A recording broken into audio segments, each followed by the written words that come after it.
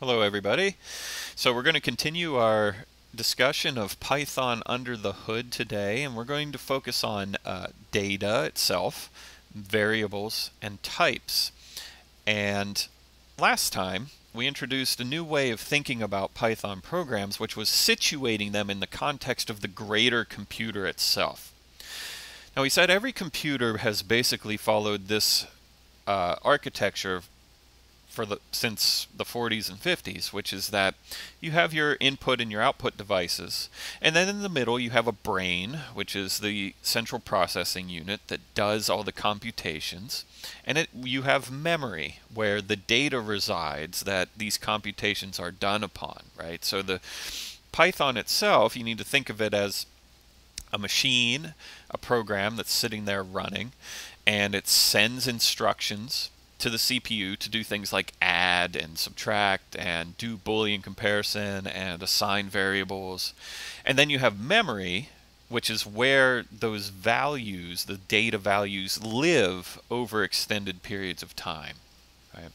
And, you know, the fact that Python is like a program and is running inside this computer is really what Alan Turing is famous for. He came up with a computer and a definition of what it means to be a computer. And what made his definition so special is it's a computer that can run any sort of program, right? As long as that program is in a specific format and has certain properties. And that's what's so magical about computers themselves. It makes them better than calculators. They can run any sort of program as long as that program fits certain properties. Okay, But anyway, we also introduced a new way of looking at Python programs in terms of what variables are and how they relate to memory.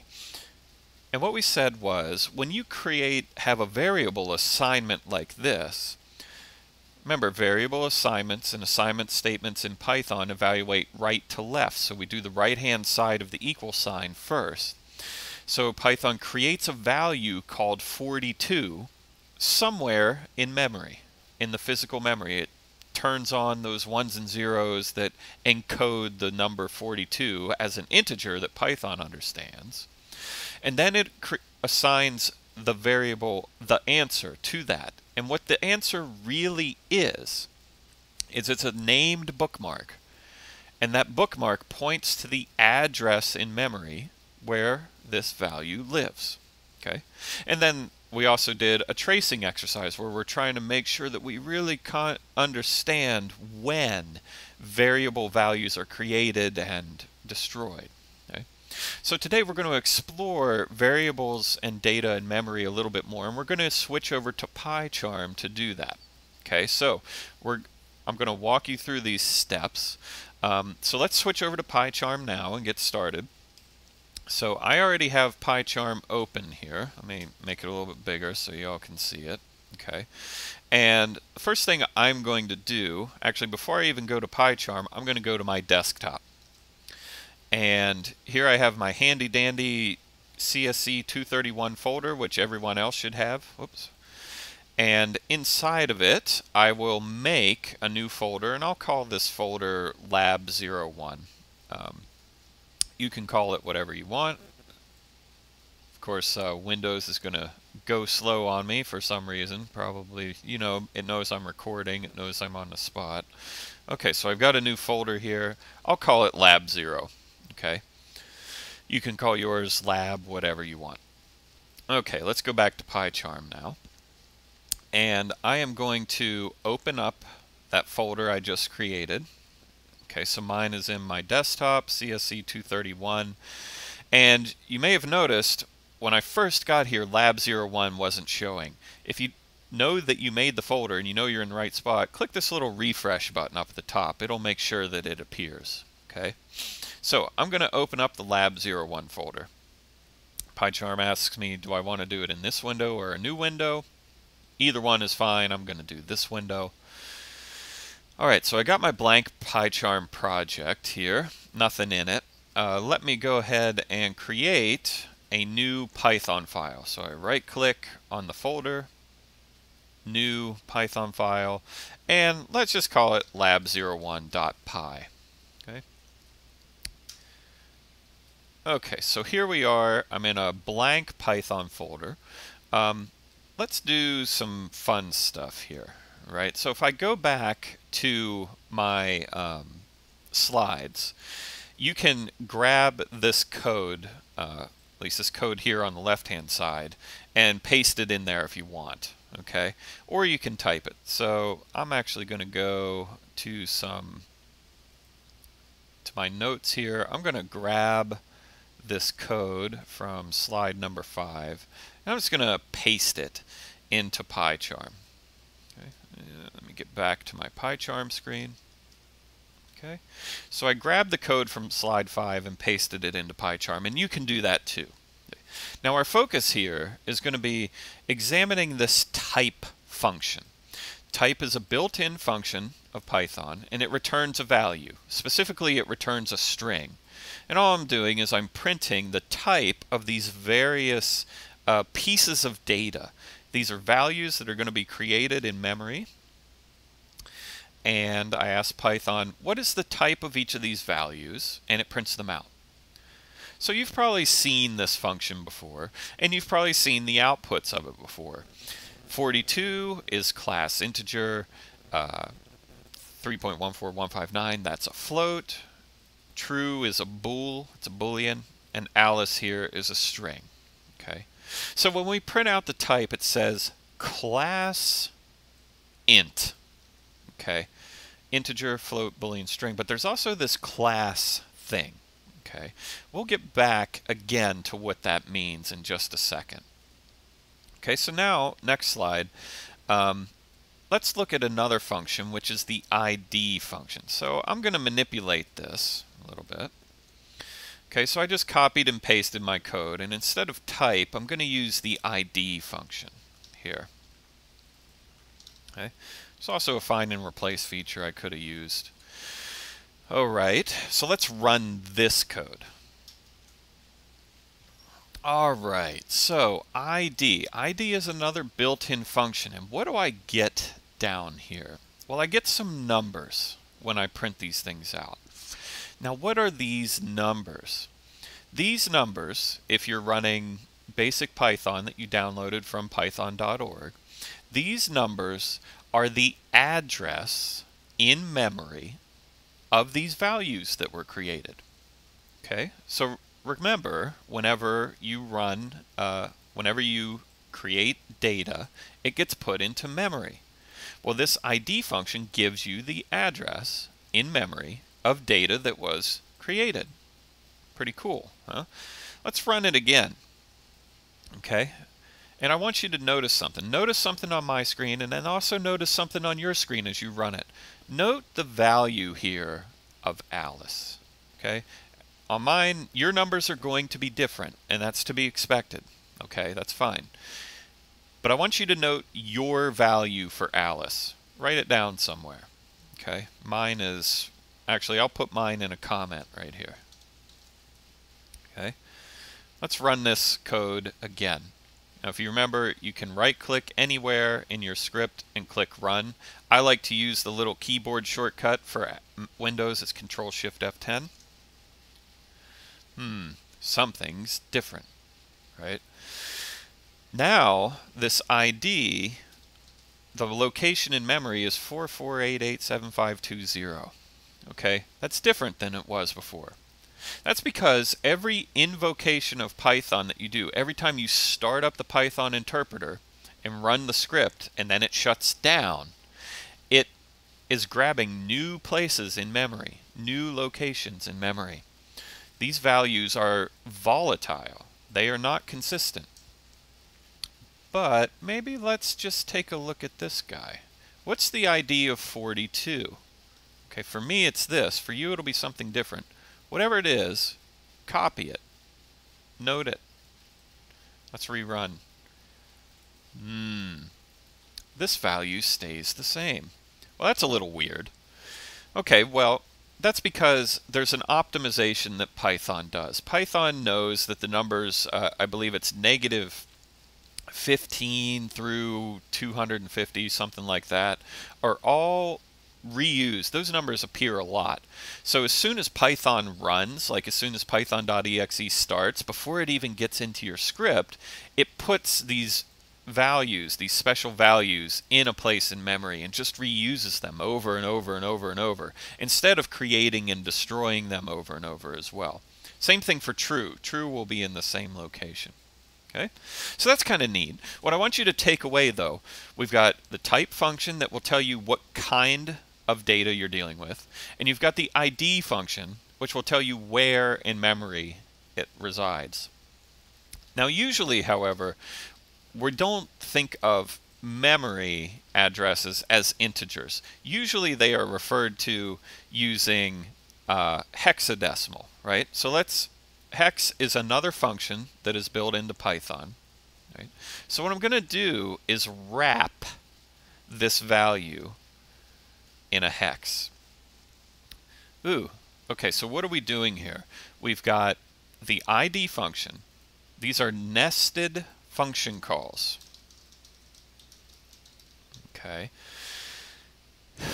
And recall, so the parentheses operator in this context is a function call. Parentheses operators, you know, they're grouping. You do the inside first and then work your way out just like you do in algebra. So it evaluates this, which gives you an integer. Okay, so it's going to give you an integer like this. And then it's going to call hex on this integer. And that's going to give you something else. It's going to give us a whole bunch of stuff that looks like this. And then we print it. Okay, so we're, we don't have to store the return value, right? We could do something like um, the ID gets ID 42 or 43, and then we could do hex value gets hex the ID, and then we can finally print hex value. We could do that, but we don't need to. And actually, it's kind of wasteful to do that. Because generally, this is a general rule of thumb, something to remember. You only need a variable to put a value in a variable if you reference it from more than one place. Okay, so I'm referencing the ID only in one place. It's kind of wasteful. I don't need it. I can just replace the value of the ID with its computed value. Same thing for hex value. I don't need this variable, right? I only need the value that comes back from this function, right? So it's a little optimization to keep in mind, right? So that's what I'm doing here, a nested function call. Uh, let me wrap the rest of these in the hex function. Because again, this is the way that uh, memory addresses are conventionally referred to. They are conventionally uh, referenced using hexadecimal format. And you should have learned what hexadecimal format is. It's base 16, right? So here's what mine look like, right? This is just my integer values converted into this hexadecimal format. Now, I believe I must be running 32-bit Python. If you see a value that is much bigger than this, if you have a much longer string, that's okay. That means you're running 64-bit Python. Uh, don't worry about it. The difference isn't terribly important right now. Okay? But this is how we normally view memory addresses. All right. So, cool, cool. Uh, we're just reinforcing the idea here that, let me get this out of the way and let me kind of get back to my presentation screen. We're just reinforcing the idea here that um, variables, values exist in memory and you can get the memory address if you want to.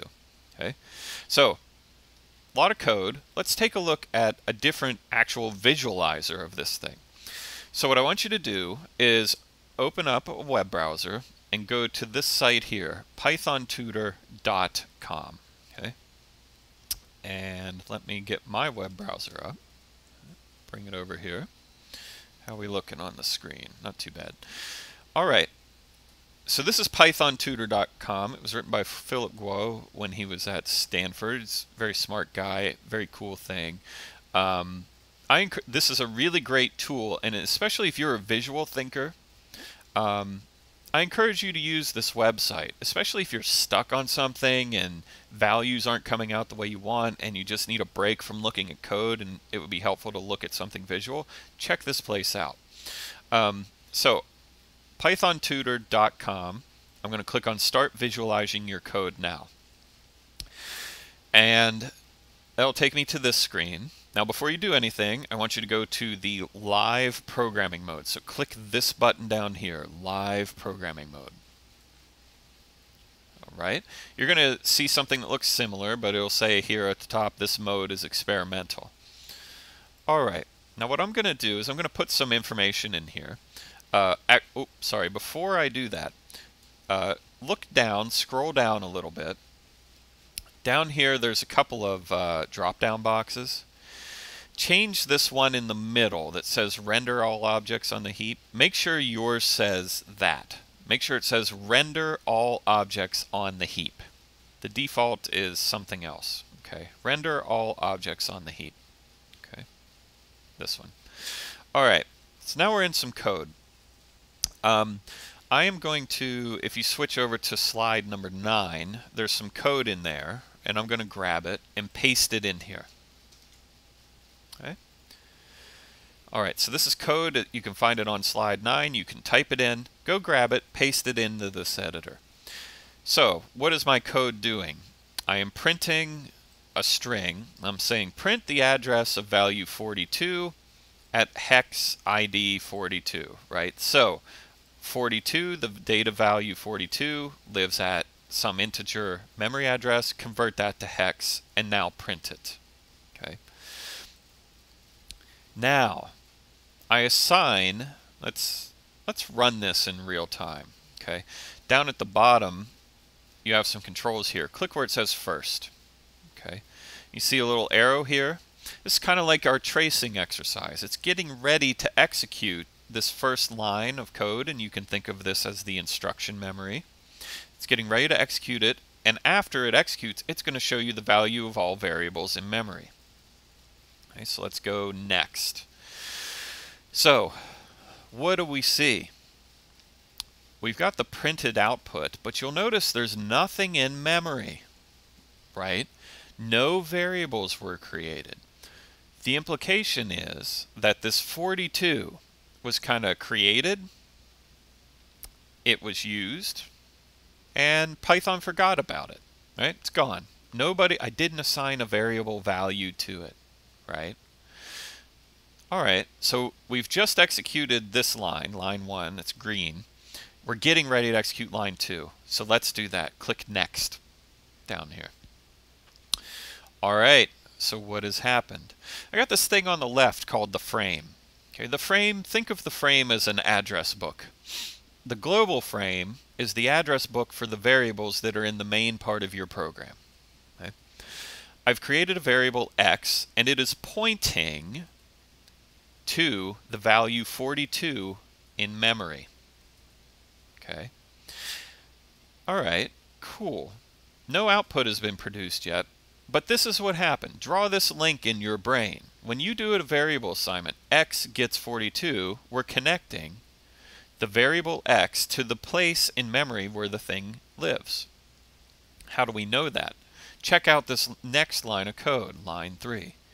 Address, I'm going to print out the address referred to by x. Print ID x and convert it to hexadecimal. So I'm getting the ID of the variable x. What do you expect to see?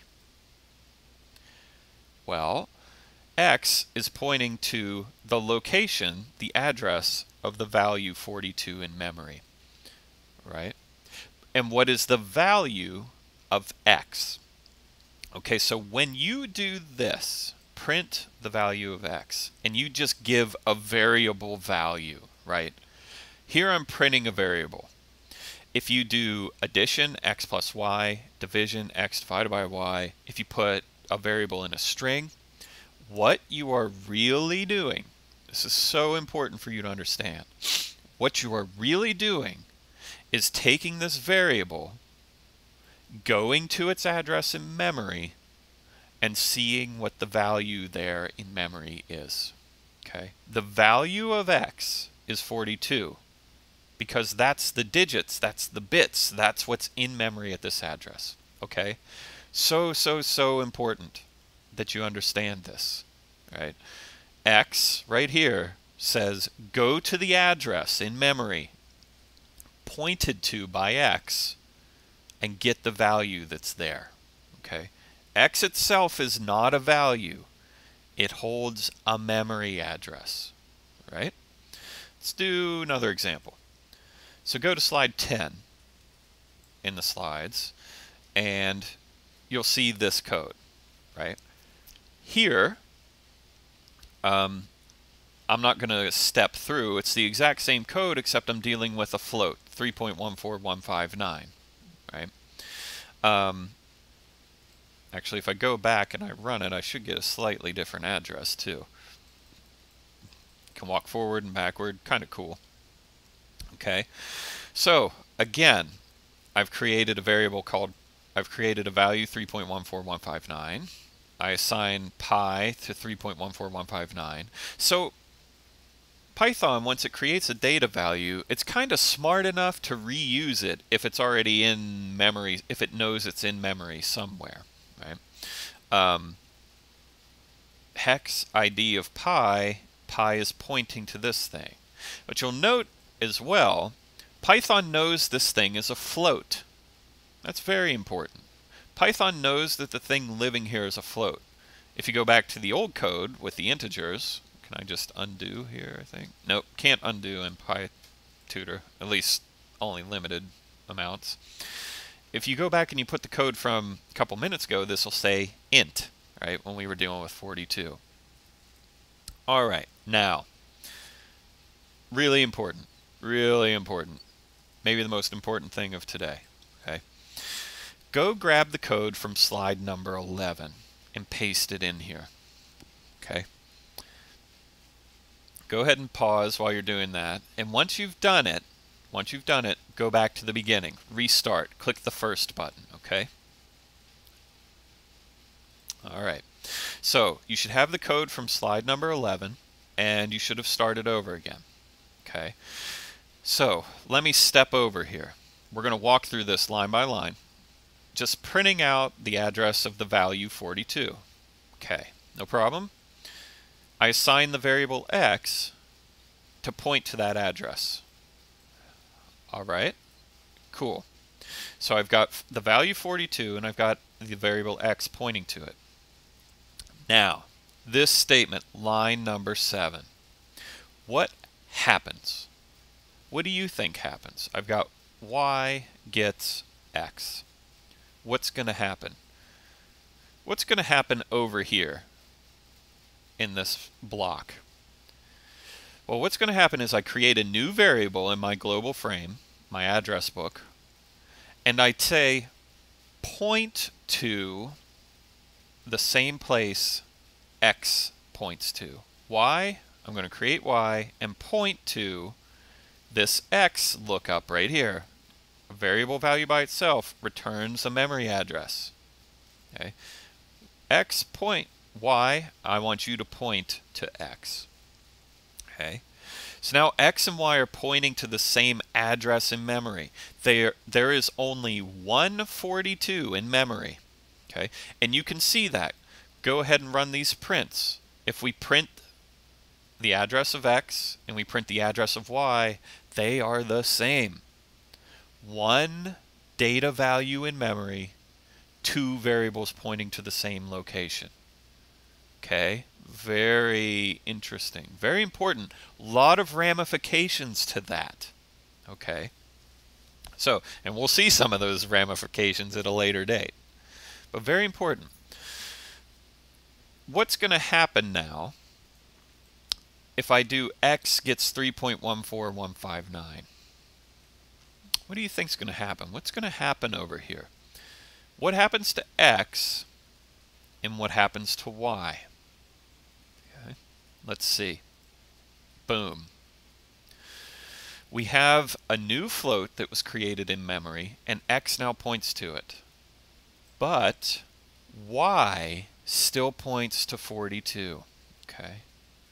Look at their memory addresses. They're different. x is pointing somewhere new, Y points to the old place. Okay, super important. Okay, very interesting. Now you may have heard the terms mutable and immutable data types. Integers, floats, strings, these are all immutable. Immutable is a 10 cent word that means you can't change it. Can't change it. Mutable data types are things like lists and dictionaries. Mutable meaning you can change the value. We're talking about values, not data, right? So when we did x gets 3.14159, x was pointing to 42, but 42 is an immutable data type. You cannot change it. You cannot change the value at that address location.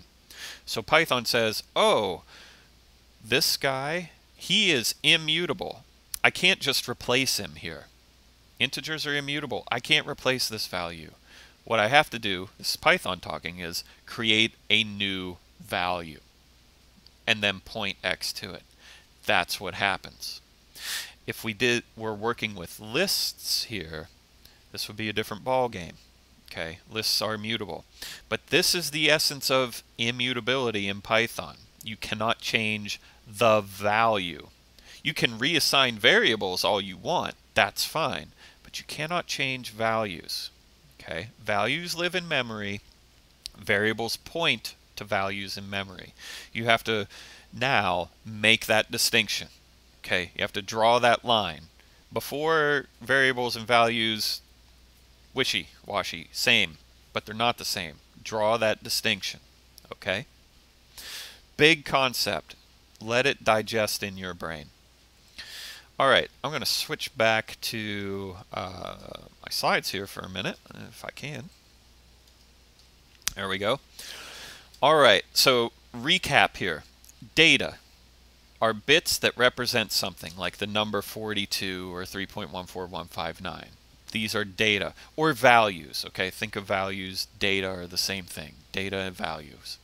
When you create data in Python, it puts these bits in computer memory somewhere. Where in memory? Where do these things go? That's an interesting question. Um, Python does it for you. You don't have to worry about it. But the way it works is, remember our notional machine? We had this thing called heap memory. Python's got this big pile of memory just sitting on a plate next to it. And whenever it needs to create a value, it says, hey, give me a... It, it grabs something off the plate and scribbles in it, says, 42, you're here.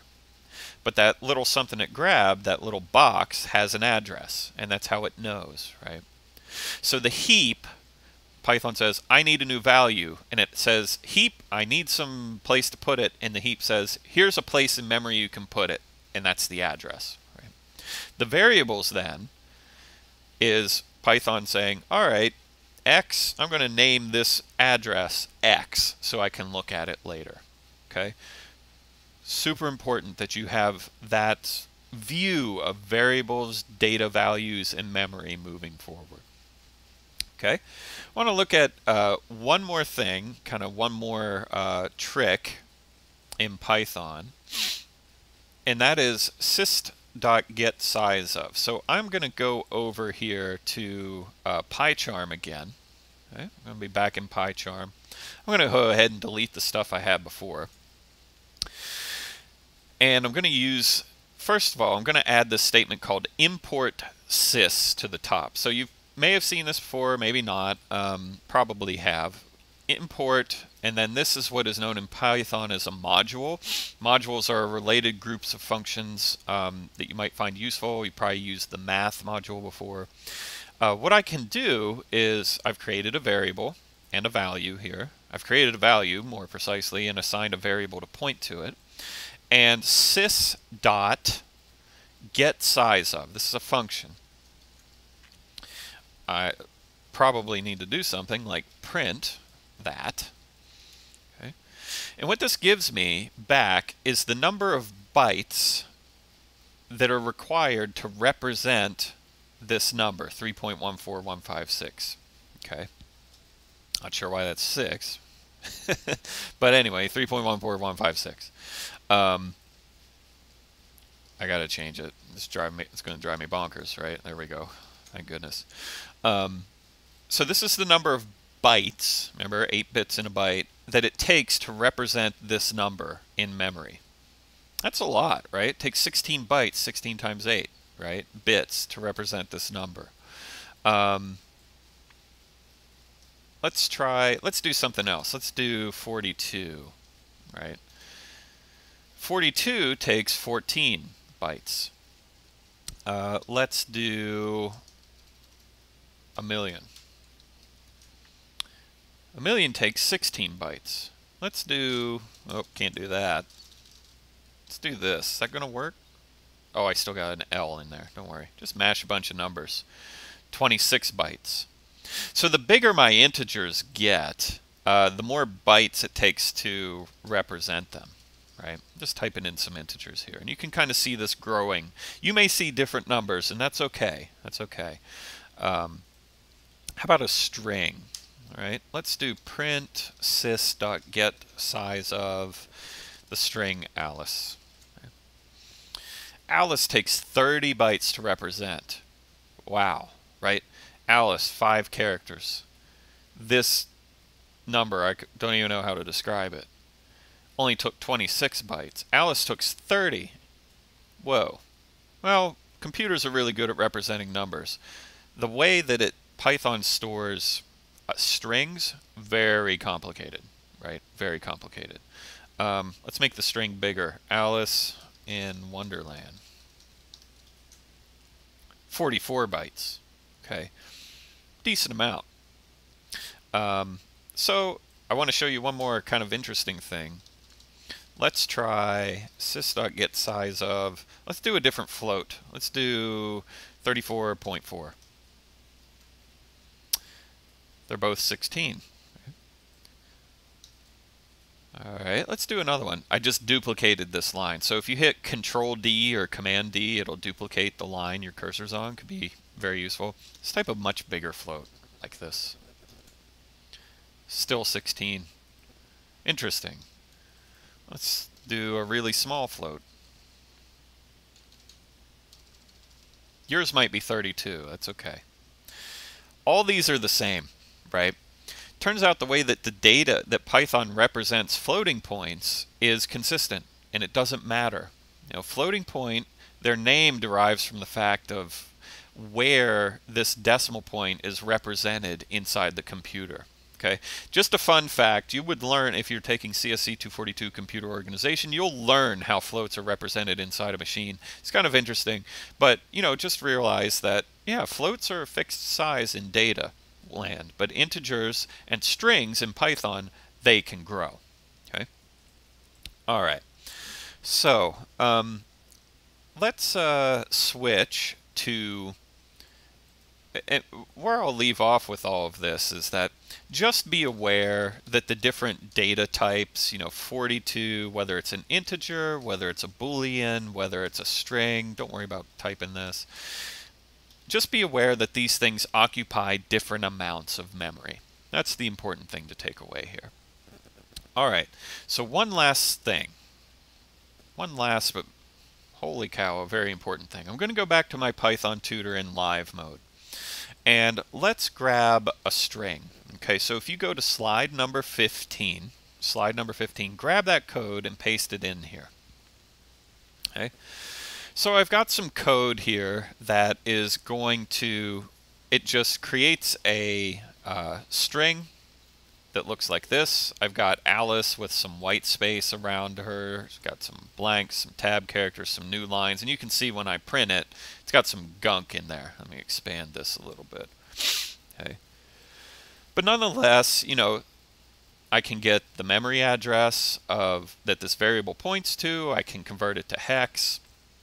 I see here, I'm printing out the type, and I'm seeing here that the type of name, the type of data value that name variable points at is a class string. Okay. Well, let's manipulate this string a little bit. Okay. Let's uh, let's do the following. Um, let's do x gets name dot strip. Right? We talked about. Uh, oh, I don't like that and let's print x. Okay. Don't like that it keeps resizing on me, but that's okay. Remember in our uh, go, if you don't recognize the strip method or strip function, go back to the uh, last week's module and check out the the string functions. But what name.strip does is it removes leading and trailing white space. Right? But strings are immutable, remember? Uh, it was one of our immutable data types. So the string here, name, or Alice, is not getting changed itself. Instead, name.strip returns a copy of Alice with all this white space removed. Okay. Same if we were to do like y gets name dot, let's do y gets name dot upper and then print y. Okay. So here y gets x dot upper. We took x, which points to this string, and told it to go uppercase. That's what upper does, right? And that result is assigned to y, and we print it, okay? So I've got three different copies of kind of my original string, but they've been modified in a different way because string is immutable. Okay? But all right, let's let's take a deep breath because this part is really, really, really important. Okay, let's take a deep breath, shake it off, get up, walk around for a minute, grab a glass of water, take a take five. Okay, because this is going to be really important. What's coming up next? Okay. My deep breath. Name dot strip. Okay. What is that specifically? What is this weird little dot that we have seen? You've probably seen this, you know, you see it when you deal with lists, you've seen it when you've dealt with strings. What in the heck is this weird little dot, right? By the way, you don't have to use this dot on just, um, you don't have to use this dot on a variable. You can use it on a literal, on the value itself. You can do Alice dot lower, right? Take the string Alice and dot lower it, give me the result of this computation. You get little Alice back, right? What in the heck is this dot thing, right? What is it? Okay. So, what it is, is that this thing that is put into memory, right? Those bytes that we just looked at, you know, the 14 bytes for the integer and so on. It's more than just a data and a value. There are also operations that you can perform on that data, right? Okay. Um, recall when you type type, right? You type a variable or type a value, you get something that says class and then string or int or float. Class. Okay, what does this mean? Okay. What this is really telling you is that Alice, this string here, is more than just a value all programming languages have a concept of data types. Data types are consisting of two things. The data, okay, so the character's Alice, that's the data. And operations, the things you can do to or with that data. Okay? So, this thing here, right? It says class string. What does this mean? Classes are a Python language feature that provide the means of bundling together data, value, and the operations, the things you can do that value, together. Defining a class creates a new data type in Python. Okay? Data types are data and operations. Classes are how Python creates data types. Class is actually a keyword. We'll see it next time. So the Python str class, this guy, holds the data that make up the letters and several operations, which are technically called methods, for manipulating the data. A method is the same thing as a Python function, except that it is defined on a particular class. Okay. If you go to the string, the definition of a Python string, right, there are many, many, many string class uh, methods. Whew. What that little dot is, is the way of accessing the operations. Okay, so before we've been thinking of variables, we've been thinking of classes, we've been thinking of values, we've been thinking of these things that we create in memory as the values, but they are more than that. They are more. They are also operations. And that is what those little dot blah blah blah things are. Sys dot get size of. String dot split. List dot append. Those are operations. And in Python, those are called methods. Okay, methods are a lot like functions, but they belong to something. They belong to a particular data type. Wow, okay, that's kind of crazy, right?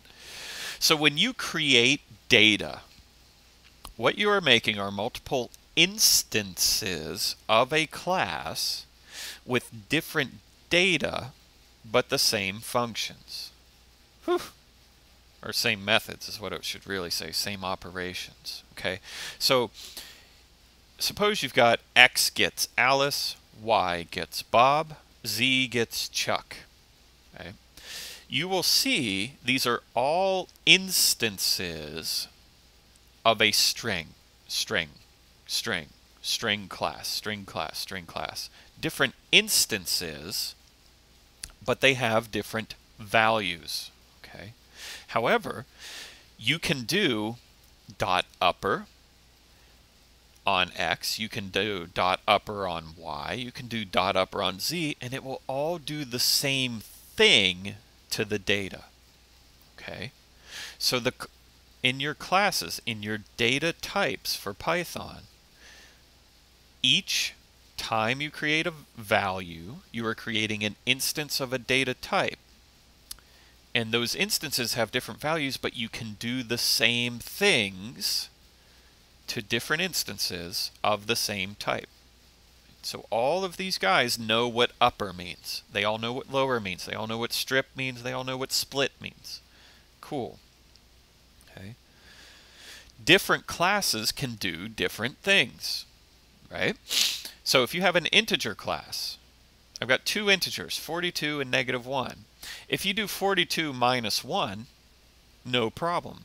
The integer data type knows specific. Now remember, we're data type and classes are kind of interchangeable terms. They are at least in Python.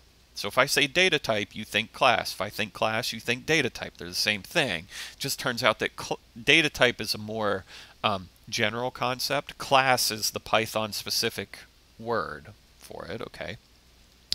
Different classes can do different things. So integers, for example, know how to subtract from one another. But strings do not know how to subtract from one another. And if you do this, go type it in PyCharm, you will see something that says type error. Type as in data type. Type error. Unsupported operand types for the difference sign, the subtraction. String and string. This is Python's very non-intuitive way of saying strings don't know how to subtract from one another. Sorry, you can't do it. Okay, because I went into the data type for string and I said, hey, subtract yourself from this other guy. And Python said, nope, don't know how to do that. Okay, so data types, again, different data types have different operations they can do. All right, so instances of classes, go back to our visualization here. Instances of classes are generically referred to as objects. Okay? Objects in memory. Everything in Python is an object. Every variable you have ever created, every uh, value you have ever computed is stored in memory as an object. Okay, so say it with me. Everything, everything in Python is an object. The number 5, the number 42, the float 3.1416, the boolean true, the string Alice, they are all objects in memory. These objects are instances of different classes. They are instances of different data types. But collectively, when they're living in memory, we say they are objects in memory. Ooh, heady stuff. Heady stuff. Okay. So let me wrap up on this slide. This is probably the most important lecture of the whole semester. So if you have to watch it five times until you get it, please do. Ask me questions. Okay. Data types appear in every programming language. They are comprised of the data they store and the operations that can be performed on the data. Okay, this is a step up in our understanding of what Python does and how it works. Creating a class in Python defines a new data type, class string, class bool, class int. And Python has many built-in classes, and you've been using them already, but maybe not fully appreciating what's going on with them. Okay?